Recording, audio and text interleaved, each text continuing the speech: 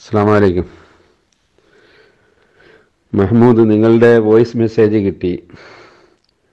Team നാദാപുരത്തിലെ അംഗമെന്ന നിലയ്ക്ക് നാദാപുരത്തുകാരനായ എന്നോട് നിങ്ങൾക്കുണ്ടായ സംശയം പങ്കുവച്ചതിൽ ഞാൻ സന്തോഷിക്കുന്നു. പരിശുദ്ധ ഇസ്ലാമിൽ ജ്യൂസ് കുടിക്കുന്നത് അതായത് നമ്മൾ സാധാരണയായി മാങ്ങ നാരങ്ങ പഴം തുടങ്ങിയ പഴവർഗങ്ങളിൽപ്പെട്ട സാധനം ജ്യൂസാക്കി കുടിക്കുന്നതും കച്ചവടം ചെയ്യുന്നതും സാധാരണ നടന്നുകൊണ്ടിരിക്കുന്ന ഒരു കാര്യമാണ്. നമ്മളൊക്കെ ധാരാളം കുടിക്കാറുള്ളതും കുടിച്ചിട്ടുള്ളതും ആണ്. ഈ ജ്യൂസ് കുടിക്കുന്നത് തെറ്റാണെന്ന് ലോകത്ത് ഒരു ഇമാമും ഒരു കിതാബിലും പറഞ്ഞിട്ടില്ല. പറഞ്ഞതായി എന്റെ അറിവിൽ ഇല്ല. ഒരു പണ്ഡിതനും പറയുന്നതായി കേട്ടിട്ടും ഇല്ല.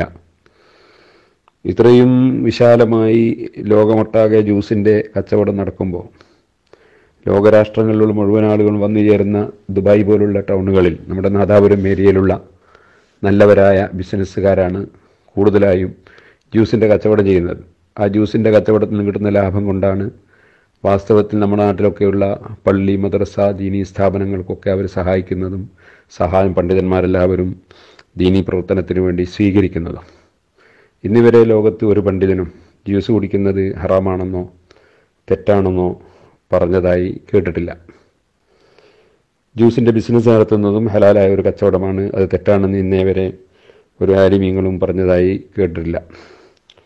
ജ്യൂസ് കച്ചവടത്തിന്റെ സക്കാത്തിനെ സംബന്ധിച്ചൊക്കെ പണ്ഡിതന്മാർ പലപ്പോഴും സമസ്ത കേരള മുഷാവറയിലൊക്കെ ചർച്ച ചെയ്യുന്നത് കേൾക്കുകയും ഞാനതിൽ പങ്കെടുക്കുകയും ചെയ്തിട്ടുണ്ട്. അവരാരും ജ്യൂസ് കച്ചവടം ചെയ്യുന്നത് തെറ്റാണെന്നോ അല്ലെങ്കിൽ അത് ജൂതന്മാരുടെ ഏർപ്പാടാണെന്നോ ഒരു പണ്ഡിതനും ഇന്ന് വരെ പറഞ്ഞതായി കേട്ടിട്ടില്ല.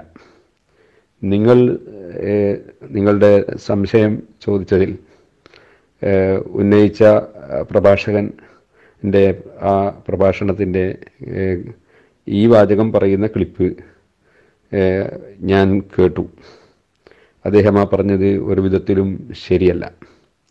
ശരിയാകാൻ ന്യായവും ഇല്ല. നമ്മൾ സാധാരണയായി ഫ്രൂട്ട് കഴിച്ചതിന് ശേഷം ഉടനെ തന്നെ വെള്ളം കുടിക്കുന്നത് അത്ര ആരോഗ്യപരമായി ഗുണകരമല്ല എന്ന് ചിലപ്പോൾ വൈദ്യശാസ്ത്രജ്ഞന്മാരാരെങ്കിലും പറഞ്ഞിട്ടുണ്ടാകാം. അല്ലെങ്കിൽ അതിനോട് പിന്തുടർന്നുകൊണ്ട് ആരെങ്കിലും പറഞ്ഞിട്ടുണ്ടാകാം. അതല്ലല്ലോ ജ്യൂസ്. ചോറ് ഊണ് കഴിച്ച ഉടനെ വെള്ളം കുടിക്കുന്നതും അതേ സമയത്ത് അരിയിൽ വെള്ളമൊഴിച്ച് കഞ്ഞിയാക്കി കഞ്ഞി കുടിക്കുന്നതും രണ്ടും രണ്ടാണല്ലോ. ചോറ് കഴിച്ച ഉടനെ വെള്ളം കുടിക്കുന്നതൊന്ന് വേറെയാണ്. അതേ സമയത്ത് കഞ്ഞി കുടിക്കുന്നതൊന്ന് വേറെയാണ്. അതുകൊണ്ട് ആ പറഞ്ഞതും ഇതിന് ബാധകമാണ് എന്ന് തോന്നുന്നില്ല. അതിനാൽ അദ്ദേഹം ആ പറഞ്ഞതൊരു പുത്തനാശയമാണ്. അതൊരിക്കലും പണ്ഡിതന്മാരുടെ പിന്തുണയുള്ളതല്ല.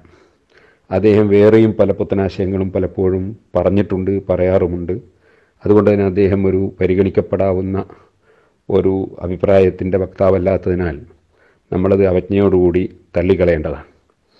അദ്ദേഹം ഒരിക്കൽ സിദ്ദീഖ് അബൂബക്കർ സിദ്ദീഖ് റതി അള്ളാഹുനുവിനേക്കാൾ ബഹുമാനം അലീബിൻ അബി താലിബ് റതി അള്ളാഹുനുവിനാണെന്ന് വളരെ ഗൗരവത്തോടുകൂടി സമർത്ഥിക്കുന്നതായി കണ്ടപ്പോൾ അത് ഷിയാക്കളുടെ വാദമാണെന്നും സുന്നത്ത് ജമാഅത്തിന്റെ വിശ്വാസത്തിനെതിരാണെന്നും ഞാൻ എന്റെ ഒരുപാട് പ്രഭാഷണത്തിൽ ഉത്ബോധിപ്പിച്ചിട്ടുണ്ട്.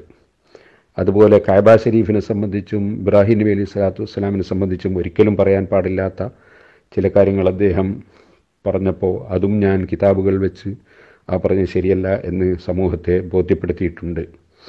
അതുപോലെ അദ്ദേഹം സെലഫി വാദമനുസരിച്ച് ഖുർആൻ പരിഭാഷ എഴുതി അതിൽ സെലഫികൾ പറയുന്നത് പോലെ അള്ളാഹുവിന് അവയവങ്ങളുണ്ടെന്ന് പറയുന്ന അതിന് തെളിവുദ്ധരിക്കാൻ പറ്റുന്ന വിധം പരിഭാഷ എഴുതുകയും അതിൽ തന്നെ നബി സല്ലല്ലാഹു അലൈഹി വസല്ലം തങ്ങൾ ഒരിക്കൽ ജീവനൊടുക്കാൻ ഒരുങ്ങിയിരുന്നു അഥവാ ആത്മഹത്യക്ക് ഒരുങ്ങിയിരുന്നു എന്ന് പറയുന്ന കാര്യം അദ്ദേഹം എഴുതിയപ്പോൾ ഞാൻ കോഴിക്കോട് വെച്ച് അതിനെ ശക്തമായി വിമർശിച്ചിട്ടുണ്ട്. അത് കടുത്ത ദുർവ്യാഖ്യാനവും നബി അലൈഹി വസല്ലമയുടെ പേരിൽ പറഞ്ഞ കടുത്ത അപരാധവുമാണ്. അദ്ദേഹത്തിന് അത്തരം കാര്യങ്ങളെ സംബന്ധിച്ച് അറിയാതെയാണ് അദ്ദേഹം അദ്ദേഹത്തിന്റെ ഖുർആൻ പരിഭാഷയിൽ അത്തരം കാര്യങ്ങൾ എഴുതി ചേർത്തത്. ഇങ്ങനെ തുടങ്ങിയിട്ട് അദ്ദേഹം ഒരുപാട് പിഴച്ച വാദങ്ങൾ സമൂഹത്തിൽ പറഞ്ഞിട്ടുള്ള ഒരു പ്രഭാഷകനാണ്. ആ കൂട്ടത്തിലൊന്ന് ഇങ്ങനെയും പറഞ്ഞു. അതാണ് നമ്മൾ സുന്നത്ത് ജമാഅത്തിന്റെ പണ്ഡിതന്മാരെപ്പോഴും ഇമാമിങ്ങൾ പറഞ്ഞ കാര്യങ്ങൾ പറയുക ഇമാമിങ്ങൾ പറഞ്ഞതുപോലെ ഇസ്ലാമിനെ മനസ്സിലാക്കുക അതിനപ്പുറം ഖിയാമത്ത് നാളാകുന്ന സമയത്ത് പലരും പല ഫത്തുവകളും നൽകും. അതൊന്നും സ്വീകരിക്കേണ്ടതല്ല. ഇമാമിങ്ങളെ പിന്തുടർന്നുകൊണ്ടാണ് നമ്മൾ ജീവിക്കേണ്ടത്. അതാണ് അഹ്ലുസുന്നത്തി വൽ ജമാ എന്ന് പറയുന്ന ആശയം. അതിനെതിരെ പുതുതായി വരുന്ന ആശയങ്ങളൊന്നും നാം ചെവിക്കൊള്ളേണ്ടതില്ല എന്നും അത് അവജ്ഞയോടെ തള്ളിക്കളയേണ്ടതാണെന്നും മാത്രം ഈ സമയത്ത് ഉണർത്തുന്നു. നമ്മുടെ നാദാപുരം നന്മയുടെ കീഴിൽ നമ്മൾ ദുബായിലും പരിസരങ്ങളിലുമുള്ള ഒരുപാട് കാഫ്റ്റേരിയ നടത്തുന്ന ഹോട്ടൽ നടത്തുന്ന മറ്റ് ബിസിനസ് നടത്തുന്ന ആളുകളെ വിളിച്ച് നമ്മൾ അഭിനന്ദിക്കുകയും ആദരിക്കുകയും ചെയ്തത് അവരെല്ലാം നൂറുകണക്കിന് ആളുകൾക്ക് തൊഴിൽ കൊടുക്കുന്നതിനാൽ നമ്മുടെ നാട് പട്ടിണിയാകാതെ നടന്നു പോകുന്നു എന്നതുകൊണ്ടും അവരുടെ പ്രവർത്തനം നമ്മുടെ വിദ്യാഭ്യാസ പ്രവർത്തനങ്ങൾക്കും മത പ്രവർത്തനങ്ങൾക്കുമൊക്കെ ഒരുപാട് നമുക്ക് ശക്തി പകരുന്നു എന്നതുകൊണ്ടുമാണ്. അള്ളാഹു താല എല്ലാ ബിസിനസ്സുകാർക്കും എല്ലാ ജോലി എടുക്കുന്നവർക്കും വിദേശത്തുള്ളവർക്കും നാട്ടിലുള്ളവർക്കുമൊക്കെ ഹൈറും ബർക്കത്തും നൽകട്ടെ. നിങ്ങൾ ധൈര്യപൂർവം നിങ്ങളുടെ കാഫ്റ്റേരിയ ബിസിനസ്സുകളുമായി മുന്നോട്ട് നീങ്ങണം എന്നുകൂടി ഈ സമയത്ത് ഉണർത്തി ഞാൻ എന്റെ വാക്കുകൾ നിർത്തുന്നു. അസ്സാം വലൈക്കും വാഹമത്തുള്ള